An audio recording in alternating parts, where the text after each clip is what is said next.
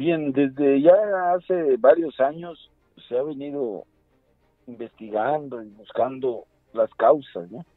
Pero nos hemos detectado, hemos detectado, se ha detectado que hoy en día la falta de atención del servicio educativo y un poco de desinterés de los padres ha crecido el índice en, los infantes, sobre todo jóvenes niños de 8 años a 12 años, ¿no?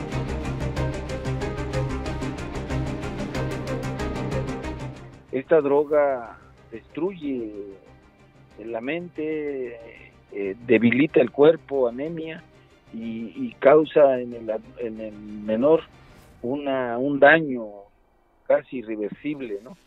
Entonces, este, esto pues nos ha llevado a, gestionar ante la Fiscalía del Estado, ante el mismo gobierno del Estado con el gobernador, y se ha coincidido eh, en el índice y en la preocupación y en el qué hacer.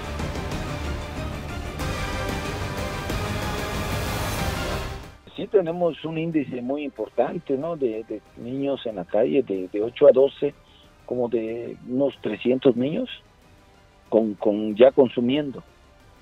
Aparte serían los adolescentes de 12 a 16, 17 años, que es un índice más alto y son los que auxiliados por esto cometen ilícitos, ¿no?